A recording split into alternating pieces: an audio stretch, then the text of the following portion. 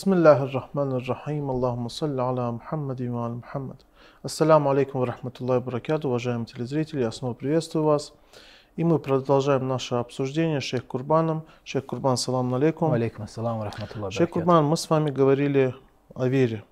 А то, что на самом деле это очень важно, когда человек искренне, истинно ве- верует во Всевышнего Аллаха, его посланника, потому что мы видим из истории, и из истории, и в данный момент мы видим, к сожалению, что есть люди, которые думают, что верят в Всевышнего Аллаха, в его посланника, но на самом деле они не веруют. Быть может, они на словах лишь выражают эту веру, хотя это неправильно, потому что вера, она исходит именно, она как бы исходит именно от сердца, то есть э, не просто словами, а именно всей душою, всей сущностью ты должен верить в послание к Аллаху и в Аллаха. И Всевышний Аллах говорит про это, говорит, «Вамина наси ман якуля аманна билляхи ва бильяум ахир ва ма хум биму'минин». Среди людей есть те, которые утверждают, что они верят в Аллаха и его посланника, но на самом деле они не веруют в Аллаха и его посланника. И мы приводили также на прошлой передаче примеры, примеры сподвижников, которые, можно сказать, предали посланника Аллаха во время Ухуд. До этого они утверждали, что они веруют в Аллаха, веруют в его посланника, но мы видим, что они э, на самом деле не было этой веры, по сути, несмотря на то, что они до этого говорили, выражали, скажем так, словесно эту веру по отношению к пророку и Аллаху. И мы приводили с вами эти аяты, где говорилось, говорилось про этих людей, в том числе и сподвижники, которые убежали во время Ухуда, их сомнениях э, относительно Аллаха, относительно посланника Аллаха. Я бы хотел бы, чтобы вы продолжили эту тему, если есть что-то добавить еще к этой теме. أعوذ بالله من الشيطان الرجيم بسم الله الرحمن الرحيم وبه نستعين وهو خير ناصر ومؤين والصلاة والسلام على سيد الأنبياء والمرسلين وعلى آله الطيبين الطاهرين المأسومين ولعنة الدائمة على أعدائهم أجمعين إلى قيام يوم الدين Я прежде всего приветствую дорогих телезрителей. Мы э, прежде всего напомню, что мы говорили о значимости, о невероятной ценности веры. И говорили о том, что вера является основой всякой добродетели и всякого достоинства. И наоборот, неверие является его полной противоположностью. Это а, антиценность, это основа всякой, всякой антиценности, это основа всех низменных и фундамент всех низменных качеств. Мгм. Но при этом люди в результате смешения, о котором опять-таки я не буду напоминать, мы Мгм. довольно-таки подробно и долго говорили об Мгм. этом, случайно, по ошибке оказываются в противоположном лагере. Человек, который потенциально является обладателем веры, он оказывается в, против... в случай- в результате этого смешения. И наоборот, человек, который по сути на самом деле является неверующим, называет себя верующим. И вы привели, зачитали аят. Э, В связи с этим я бы хотел бы подчеркнуть один очень важный Мгм. момент, который заключается в том, что люди, которые себя называют верующими, но таковыми не являются, бывают разные. А, Есть люди, которые понимают, что они неверующие, что у них нет веры. Это хитрецы, это а, своего рода Лицемер. да, это лицемеры, совершенно верно. Это лицемеры, то есть люди, которые э, используют некую хитрость, используют маневр. Они прикидываются и представляются верующими, Мгм. но на самом деле совершенно ясно и четко осознают, что таковыми не являются. Как, например, в аятах Священного Корана об этом сказано, что когда они встречают верующих, говорят, что мы тоже Мгм. уверовавшие, но когда они встречаются со своими дьяволами и шайтанами, говорят, что мы их просто... Выс-. Да, мы их просто высмеиваем, мы издеваемся над ними, что мы с вами. Мы тоже такие же неверующие, как вы. Но когда мы говорим, что мы верующие, встречая верующих, мы всего лишь издеваемся над ними. Это одна группа. Это довольно-таки ясная и четкая группа, а, в которой, в принципе, э, с которой, в принципе, все так или иначе в какой-то мере ясно. И даже более того, разделение здесь существует. Какое разделение? От верующих, от веры. Угу. То есть вот это вот разделение с этой группой как такового смешения, как такового нет. То есть э, глубокого смешения здесь нету. Да, внешне кажется, что э, есть смешение, но по сути смешения нету. Здесь есть разделение. Один человек неверующий, другой Угу. верующий. Просто разница в том, что Ага. один прикидывается э, верующим, Угу. а другой на самом деле является верующим. Смешение здесь Да. Мы с Нет. вами не про эту группу. нет, говорим. совершенно не про эту группу Мгм. говорим, и это нужно понимать. Ага. И мы не говорим о каких-то э, номинальных группах. Мы не говорим о, о- вот есть лицемерие, есть мусульмане номинально, есть еще какие-то группы неверующие номинально. Опять-таки я повторяюсь, э, у зрителей может э, появиться ложное понимание, ложное представление о том, что мы говорим о каких-то номинальных группах. Например, есть люди, которые говорят, мы являемся шиатука ва мавалика. Угу. Мы являемся твоими шиитами, о Али ибн Аби Талиб, алейхиссалату вассалам.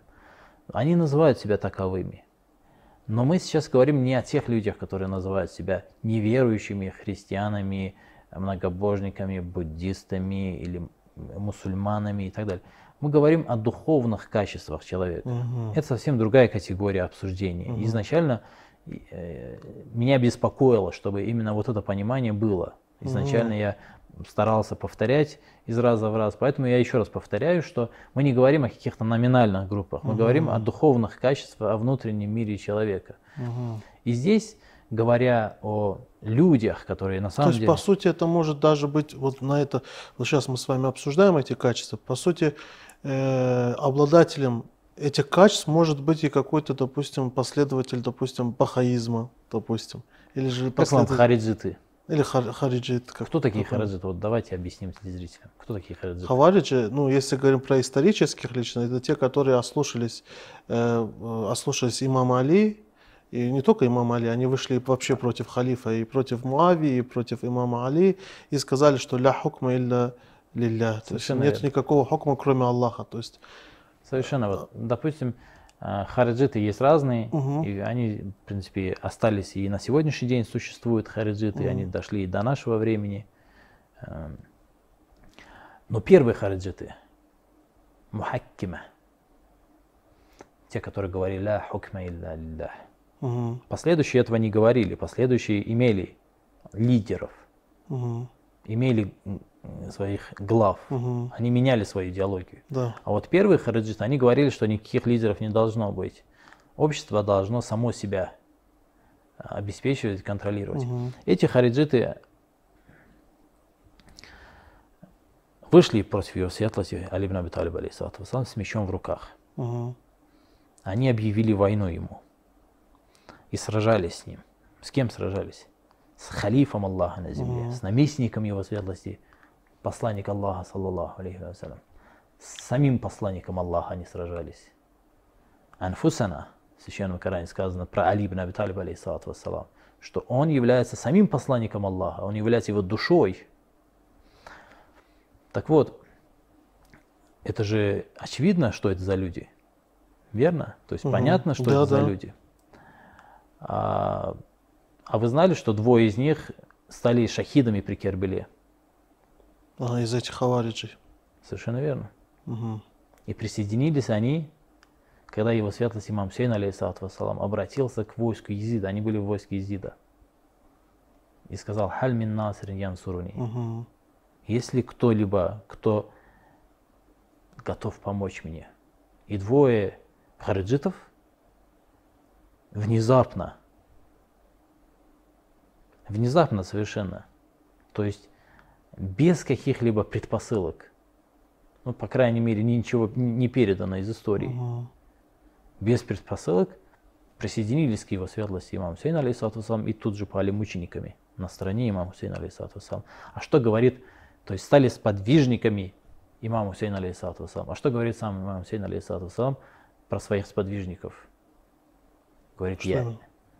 Его светлость говорит, я не знаю сподвижников лучше, Мгм. чем мои сподвижники, лучших, чем мои сподвижники. Поэтому да, о номинальных явлениях здесь речи не идет. Испытания для чего нужны? Испытания нужны для того, чтобы отделить это все. Каждый может называть себя как угодно. Можно называть себя верующим, можно себя даже назвать кем? Валиюллахом, приближенным Всевышнего. Разве назвав себя приближенным и другом Суть не Аллаха, меняется. суть поменяется? Нет. совершенно не меняется. И чтобы эту суть проявить каждого человека, потому что когда человек, например, вот первая группа, о которой мы говорили, лицемеры, с ними все ясно, они хитрят. Они не прошли, изначально не прошли э, вот это вот испытание Всевышнего, не прошли э, экзамены Всевышнего. Они изначально избрали путь и ушли туда, лицемеры. Мгм. Но те люди, которые говорят, мы уверовали, но не хитрят они, они говорят это искренне, то есть они са- сами думают, что и считают, что таковыми являются. Но столкнувшись с трудностями, как можно выявить, уверовали они или нет? Если к имаму Хусейну, алейхиссалату вассалам, присоединяется группа людей и идут с ним в Куфу, имаму Хусейну, алейхиссалату вассалам, есть э, огромная стопка писем от куфисов, которые приглашают его в Куфу и говорят, приходи, мы тебя поддержим и подчинимся тебе, будем следовать за тобой, приходи к нам. И, конечно же, люди, которые присоединяются к имаму Сейну, алейхиссалату вассалам, они прекрасно видят эти письма, знают об этих письмах, присоединяются к, ним, к нему. А, И даже, возможно, от любви, думают, что от любви к имаму Сейну, алейхиссалату вассалам, присоединяются и не, обра- не понимают, не хитрят, то есть, они не хитрят. Мгм. Но когда имам Сейн алейхиссалату вассалам оказывается в окружении на девятый день Мухаррама и говорит, что вы можете уйти, завтра нас ничего не ждет, кроме смерти. Если хотите, уходите. А, Эти люди уходят. А если бы имам Сейн алейхиссалату вассалам пришел бы в Куфу, и имам Сейн алейхиссалату вассалам возглавил бы Ирак, потому что Куфа это центр Ирака. Ирак Мгм. и управление Ираком зависит от управления Куфа. Куфой и Басрой. Куфа это важнейший город Ирака на тот момент. Если имам Хусейн алейхиссалату сам становится правителем Ирака, если, то есть, эти, то есть эти люди, которые фактически отказались от веры, оставили Валиуллаха, предпочли эту жизнь над следующей жизнью. Кто-то, вот некоторые из подвижников имама Хусейна, алейхиссалату вассалам, выходя на поле битвы, что они говорили? Они говорили, это было демонстрацией. Мгм. Они говорили, я, оста- я предпочитаю свой, свой дом, я предпочитаю над своим домом, Мгм. предпочитаю над своим семейством, Мгм. над своими детьми, Мгм. над своими дочерями предпочитаю имама Хусейна, алейхиссалату вассалам.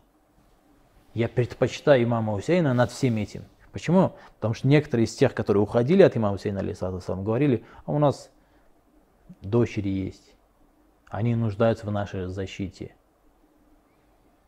Это говорили те, которые уходили от имама? Да, совершенно верно. А. Имам Хусейн, алейхиссалату вассалам, э, когда их покидали, некоторые из Мгм. них объяс- объясняли.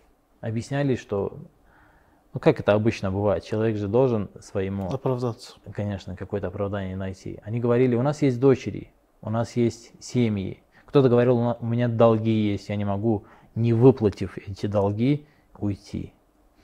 И сподвижники имама Хусейна демонстративно говорили, что у меня тоже есть, когда на поле битвы выходили, у меня тоже есть дочери, но я предпочитаю имама над ним. Это ли не предпочтение будущей жизни над этой жизнью? И это ли не является успешным прохождением этого испытания на веру? Проверки на веру. И поэтому эти люди, которые фактически, по факту, не прошли этого испытания, в день Ашуры, в день Тасуа точнее, которые покинули имам Хусейн алейхиссалату вассалам, а если бы они дошли бы до Кербелы, и все, и все было бы гладко, я сказал человек Аменна, и вся его жизнь стала прекрасной, цветущей и гладкой. Это, кстати, одна из заблуждений, которая э, существует в нашем обществе, в обществе верующих, и отчасти э, в этом виноваты люди, которые неправильно э, доносят религию. Возможно, в какой-то что мере... Что именно, Шейх Курбан, я То, что говорят, преподносят веру как лекарство от всех бед. Угу. Я даже слышал от некоторых э, проповедников и слушал это с ужасом. Говорили, что те трудности, с которыми вы сталкиваетесь, те материальные трудности, эти, эти, эти все, все это, все, все это, все эти причины от того, что у вас слабая вера или что у вас э, какие-то есть недостатки в вере. Но на самом деле, если мы посмотрим на аят Священного Корана, все наоборот, такие иначе. Да. Почему Всевышний про своего Халиля, Халилуллах, кто это? Ибрахим, алейхиссалату вассалам. Пророк Ибрахим, один из приближеннейших людей к Всевышнему. Всевышний про него говорит, «Ваид ибтала Ибрахима раббуху бикалиматин фаатаммахунна, кала инни джаилюка линнаси имама». Всевышний говорит, он прошел испытание, Ибрахим, алейхиссалату вассалам, прошел испытания, разные испытания прошел. Прошел испытание сыном, прошел испытание э, женой. Да. Это мы все знаем из священного Корана. Но Всевышний хочет сделать его имамом для людей. Что это значит? Он ему дал посланническую миссию, дал ему пророчество, но хочет сделать имамом, что, что является выше по своей сути, чем посланничество и пророчество. Хочет да. возвысить его. Это не номинальное возвышение. Это номинальное возвышение, когда человек, допустим, является эм, э, полковником, угу. ему дают, допустим, майора или генерала. Это номинально, он может по, по сути не измениться. Но Всевышний хочет изменить его, чтобы он был достоин быть имамом для людей. И говорит, Ибрахима раббуху бикалиматин. И тогда Всевышний испытал Ибрахима и когда фаатаммахунна, и когда он прошел успешно это испытание, Всевышний сказал, «Каля, инна джаилука линнаси имама». Теперь я тебя назначаю и ставлю имамом людей, предводителем людей. Теперь ты достоин того, чтобы люди шли за тобой. Потому что одно дело звать людей к чему-либо, что является обязанностью кого? Пророка и посланника. Пророк и посланник говорит, пойдемте сделаем добро, пойдемте благотворительностью займемся, пойдемте э, другими благими делами займемся. Поможем ближнему, поможем. Это всего, все призывы. А, а, обязанностью и а, миссией пророков и посланников является призыв, донесение и призыв. Донесение и призыв. А что касается имама, имам обладает совершенно другой, э, да. намного более высшей миссией и обязанностью. Он должен сам воплощать в жизнь он должен строить общество благодетелей. На практике, не призывами, а именно практикой. Он должен своей жизнью, своей, своей деятельностью, общественной деятельностью, политической деятельностью, uh другой деятельностью должен строить общество благодетелей, uh а не просто звать. Это, это требует большей ответственности, да. это требует больших и более высших духовных качеств. Да. Его светлость Ибрахим, алейхиссалату был испытан огнем угу. чтобы достичь этой. Разве трудности и вот эти вот испытания, они являются отсутствием веры? Нет, наоборот. У нас есть предания даже, в которых указывается, что на самом деле э, настоящий, настоящий верующий, для настоящего верующего жизнь в этом э, мирском, мирской жизни является именно своего рода заточением в тюрьме, допустим. Совершенно тюрьмою другими словами. Да, но мы очень часто обнаруживаем вот те аяты, которые мы рассматривали. Обратите внимание, когда мы говорили про Ухуд, когда мы говорили про то, что э, сподвижники его светлости э, начинали сомневаться. Да. Всевышний говорит. Они думали, что Всевышний оставил его и возненавидел. Они думали, Всевышний не спасает откровение, чтобы это опровергнуть. Говорит, он тебя не оставил. То, что ты терпишь поражение, то, что... А, это а... на самом деле является ответом именно для тех сподвижников, которые так считали, правильно? Совершенно, совершенно верно, ага. да. То есть, когда э, его светлость посланник Аллаха терпел поражение, когда многобожники одолевали верующих, когда убивали верующих, когда отнимали у них, ору... Э, когда отнимали у них э, имущество, когда выгоняли их из собственных домов, в частности, допустим, события Ухуда, это очень плохо отразилось на верующих. Многие из них стали неверующими, по сути, и из этого, и из Ухуда началось их путь в неверие.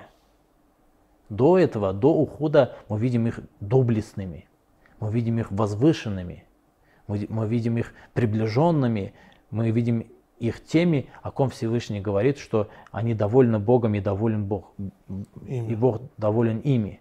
А после ухода эти же люди уходят с головой в неверие. И мы видим то, что видим. И тот результат, который, к которому они приходят, это результат в том числе и того, что они не прошли испытания при уходе. И терпя все эти поражения, они говорят, разве мы не, как сказано в да. семействе Имрана, в э, Язуннуна э, билляхи гайр аль-хак, занналь джахилия, как джахили стали думать о Боге, потерпев эти поражения. Это, это не мои слова. Почитайте суру Али Имран, если мне не изменяет память, я точно сейчас не помню, 174 аят, если мне не изменяет память, сура Али Имран, uh-huh. там это сказано. И далее они думают, что Бог оставил своего посланника, они думают, что он его не возненавидел. И Всевышний говорит, «Валяль ахирату хайрун лаке миналь ула». Мы тебя отправили и назначили имамом, назначили пророками, посланником, дали тебе миссию, чтобы ты возглавил человечество не для того, чтобы они сказали, да, мы твои последователи, мы уверовали, и чтобы мы их оставили в покое. Мы не для, не для этого все это затеяли. Да. И Всевышний в дальнейшем, в том же аяте, где говорится «Язуннуна билляхи гайраль хакки аль джахилия», когда они говорили, что разве мы не на истине, плохо думали о Боге. Плохо думали о Боге, говоря, что разве мы не на истине, а если мы на истине, то почему нас убивают? То э, почему мы терпим поражение? И в связи с этим э, Всевышний дальше говорит, «Валияптали Аллаху фи судурикум». Вы потерпели поражение, чтобы Всевышний испытал то, что находится у вас в груди. Валияптали Аллаху ма фи. Насколько крепки вы, насколько вы э, непоколебимы в своей вере. Вы говорите, мы верующие. Давайте мы создадим вам ситуацию, кстати, причины которой вы сами являетесь. Ибо не оставили бы вы свой пост, вы не потерпели поражение, вы угу. выигрывали, одолевали неверующих, но вы сами проявили слабость, и мы вас испытали. Испытали то, что у вас в груди. И хотели, валияптали Аллаху фи судурикум, чтобы узнать, что у вас в груди, насколько она крепка, насколько далеко вы можете зайти. Смотрите на сподвижников имама Сейна алейсалату вассалам. Его светлость не просто так говорит, я не знаю сподвижников лучших, чем мои сподвижники. Угу. Это люди, которые пали мучениками при Кербеле. Почему его светлость так говорит? Потому что смотрите на его сподвижников и на сподвижников его светлости посланника Аллаха, саллаллаху алейхи вассалям. Сподвижники и посланник Аллаха оставляют его бегут на гору, яд укум фи ухракум, его светлость, авар расуль яд укум фи ухракум, посланник зовет их, они валя талауна аля ахадин. Они даже ни на, они на друг друга даже не обращают, сломя голову бегут просто.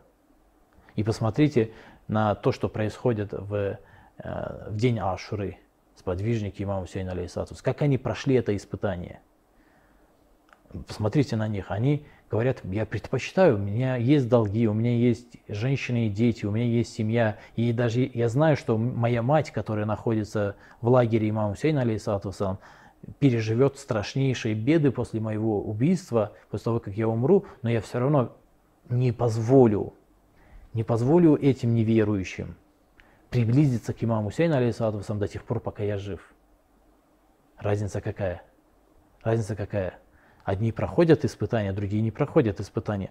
«Валияптали Аллаху фи судурикум, валиюмахиссама фи кулубикум». И чтобы очистить то, что у вас в сердце. Разделить. И э, «Валлаху алимум бидати судур». Или, э, например, в другом аяте Священного Корана – а, а, в той же суре, в Али Имране, Всевышний объясняет причину этого поражения. Говорит, «Валиюмахис Аллаху ладина аману, ваямхакал кафирин». Чтобы очистить верующих и уничтожить неверных. Угу. Как это так? Как это так, так происходит? Это логично? Где тут логика? Что поражение в Ухуде было для того, чтобы очистить верующих и уничтожить неверных. О каких неверных идет речь? О тех, которые были напротив или которые были... Среди Где логичнее? Есть логика и вообще какой-то здравый смысл, если говорить о неверующих, которые находятся напротив? Нет. Всевышний тех неверующих, которые утверждали и даже сами считали, что они являются верующими, угу. Всевышний очистил верующих от, от них, от их присутствия, угу. от, от, от смешения с ними. Это очень важно. Да. Как это сделал имам Сейн, алейхиссалату в день Ашуры. Если бы среди сподвижников имама Сейн, алейхиссалату в день Ашуры были бы люди, которые хоть на йоту, хоть капельку сомневались бы, они бы предали бы в день Ашуры, во время битвы, они посеяли бы панику в лагере имама Хусейна, алейсалам, посеяли бы уныние, горесть, отчаяние в женщинах и детях имама Хусейна, алейсалам, в сподвижниках имама Хусейна, алейсалам. А мы что-то подобное видим? И сподвижники приходят, говорят имаму Хусейна, алейсалам, и его детям, и женщинам, что они говорят? Они говорят, вы не беспокойтесь, пока я жив, вы ни о чем не беспокойтесь. Угу. То есть если вы видите меня, то знайте, что вас не коснется ничего плохого, что они не доберутся до вас, что не навредят вам. Угу. Это и вот это очищение общества верующих в этом нуждается. Угу. Если бы, если это очищение не будет происходить, это очищение верующих необходимо просто. Почему? Потому что если и в дальнейшем будет это смешение, угу то не будет зухура как такового, да. не будет а, всемирного государства имама Махди, Аджаллах Фараджаху Шариф, которое в свою очередь имеет величайшую философию, о которой можно отдельно поговорить, но это совсем другая философия, это совсем другая история, которая является а, венцом человеческой истории, победа после восстания имама да. Махди, Аджалаллаху Фаджаху Шариф. Я знаю, что да, наше время, время. Да, я закончу, если вы позволите, да, пару слов скажу. И поэтому Всевышний в этом аяте, в, это 141 аят суры семейства Имрана, говорит «Вали махас Аллаху ладина аману кафирин». Он дал вам поражение в день Ухуда, чтобы очистить верующих от присутствия этих неверных и уничтожить этих неверных потому что необходимо это очищение. Угу. Ну, мы сказали, что это очищение было именно среди своих же. Да. Да. Шейх Курбан, благодарю вас. Всевышний, я э, скажу, мы в будущем еще поговорим об этом и приведем, и э, приведем аяты, которые подтверждают это понимание. Шейх Курбан, я благодарю вас за это разъяснение. Иншаллах, на следующей Спасибо. передаче мы продолжим объяснение этого аята про Иншаллах. очищение. Уважаемые братья и сестры, наше время подошло к концу, мы с вами прощаемся. Иншаллах, по воле Всевышнего Аллаха, обязательно продолжим наше обсуждение на следующей передаче. Ассаляму алейкум ва рахматуллахи ва баракату.